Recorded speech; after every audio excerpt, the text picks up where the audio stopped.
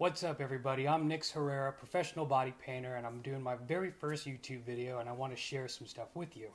Um, today, one of the things I'm going to be working on is I have a show coming up this weekend. I'm doing a body paint, and I have a piece where I have to have the model's breast covered.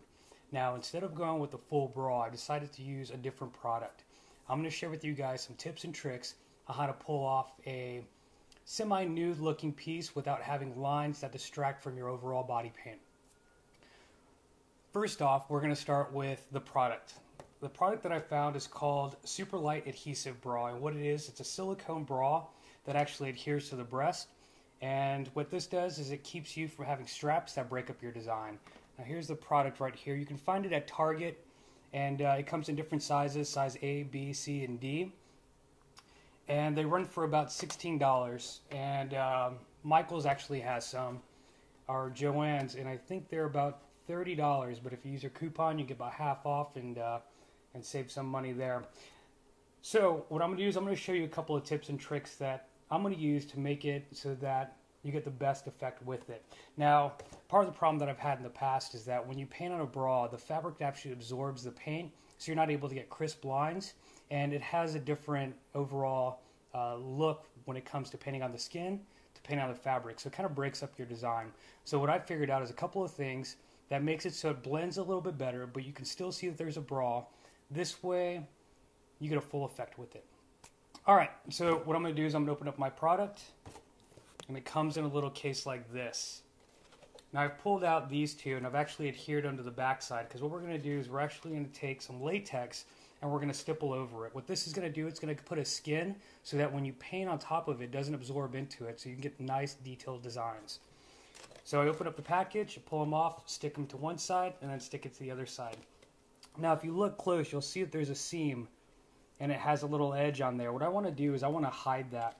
So I'm going to take a product called Zombie Skin.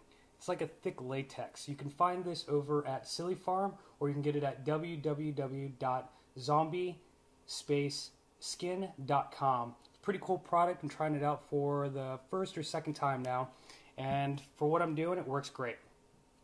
So what I'm going to do is I'm going to open up this product. I'm going to put a little bit into a cup. And the reason being is I don't want to work completely out of the container because then it'll start uh, airing out and drying and get a little thicker. And we want to keep it fresh. So we'll scoop a little bit out with a spatula or popsicle sticks. I've got a few of these for blending out this edge. So what I'm going to do is I'm going to go ahead and open it up. I'm going to scoop out just a little bit now it's better to scoop out a little bit and come back for more if you need it. This way you're not wasting product. Put in my little cup. I got a couple of these on the side. And then what I'm going to do is I'm going to take a little bit and I'm going to apply it to that edge right there. Now because this has a nice straight edge, I'm actually going to use that to just kind of fill that little ledge right there smoothing it over. I'm trying to do this once or twice without having to keep going back over and over. Because what's going to happen, that latex is going to start to dry, and then it's going to start uh, uh, catching onto it and getting like little latex balls. And we want to avoid that. We want a nice, flat, smooth surface. So I'm going to scoop a little bit out and do this all the way around my piece. Then what I'm going to do is I'm going to take a blow dryer and blow dry that edge. So this way when I come back over and stipple on top of it, I'm not picking up product or leaving indentions to where I actually applied it. So we'll skip over, and that's what we have here. That edge is blended out. Now you might need to go back once, twice, maybe three times, depending on how smooth you want that edge. For me, I've done it about twice. I've got a nice happy edge that I'm happy with. You can see it's a little dry or a little wet in that corner. Um, you want to wait until it's completely dry and it goes from a white to a uh, glossy, translucent finish. Once we have that done, we're going to take some latex. Uh, in this case, I actually have some casting latex. is what they use to make masks. You can use any kind of latex, balloon latex. Um, Mehron actually has a latex uh, you can buy in a small little bottle, and I'll probably use about half an ounce for each side. So what I'm going to do then is I'll pour a little bit out into a paper plate. I'm going to take a latex sponge. And what I'm going to do is I'm actually going to rip the tip off on the biggest side and then what I'm going to do is I'm going to pull off these little corners. Now the reason why I'm doing this is when I go to stipple on top of it, I want to make sure that I'm not leaving any square patterns. And this just gives me uh, an area to work with where I'm not going to get any kind of uh, pattern onto it. So I'll pour a little bit out onto a paper plate and I'll use that little area to kind of stipple and grab the latex that I need. And then I'm going to go through and I'm going to start stippling that all over. Now what this is going to do, it's going to fill up all those porous little holes so that when I paint on top of it, it doesn't absorb into the actual bra. And that's what's going to give me a nice line drawing on my body paint um, to match in with the bras. So I stipple all over that and keep going. Now you want to make sure this sponge stays um, loaded with latex. If it starts to dry up and you press it down on your piece, latex sticks to latex and it's going to grab and pull off.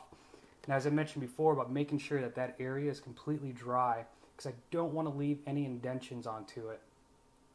And just a little bit at a time, just working your way up, keep going, keep going, and uh, you can blow dry it and then come back in and do another layer. What you want to do is you want to get all those little porous holes pretty much filled up so you have a nice skin over the whole top area. Now I have one on one side and then I'll put the other one on the other side once this is completely dry because what I don't want to do is place it on the table and actually have it stick to anything. So once this is all dry, I'm actually going to take a little bit of powder. Uh, baby powder works, translucent powder works. You just want to get it so it's not going to stick to itself. Uh, you can use a powder pad, or in this case, I have a little powder brush. Now, the reason why I mentioned of it being completely dry is you don't want to go and place your bristles onto it and have it stick or have that latex get into the, the fibers of your brush. So what I'm going to do is I'm just going to add a little bit. You can dust on top of it, and then you're going to come in and just buff over the whole entire thing.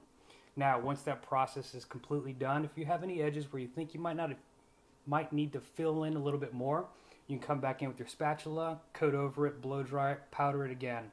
Once it's completely dry and you're done with it, what you're going to do is you're going to peel it off one side.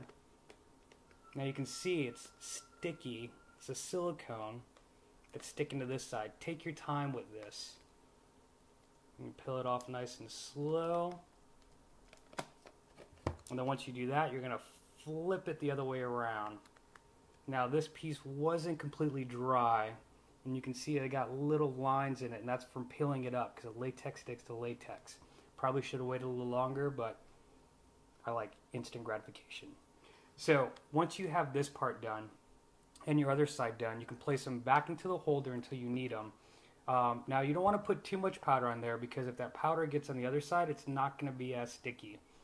Uh, so just a little bit of baby powder while it's on that side place them back into the box when it's time to put them on the model. Here's a tip that I've learned from the ladies who have worn these in the past. If you place them in an angle like so on the breast, when you put it down this way, and when you go to latch the two together, it's going to do, it's going to take it and it's going to turn it up. And this is going to give uh, that bra lift and support. Then you go ahead and you can airbrush on top of it, you can hand paint on top of it, um, it just gives a great look. So this way you don't have straps breaking up your patterns. Um, I love it. It's a great um, piece to use if you're doing competitions. Um, it just has a nice look, so it doesn't look like your model's wearing a bra. Now, when you're done with it, just ask the model to peel it off, and you can save it and reuse them. I do not use them on other models. I try to keep it for the same model that I've used, or you can give it to your model as a souvenir to keep, take home, put on eBay. Who knows? But this is what I do. This is what I'll be doing for IMATS this weekend. If you're there at the show, come check me out. IMATS New York. Um, I'm going to make some more videos to share some more of this stuff with you guys. Thank you for watching. I hope you enjoyed it. If you have any questions, hit me up, Nix Body Art, N-I-X, Body Art at gmail.com.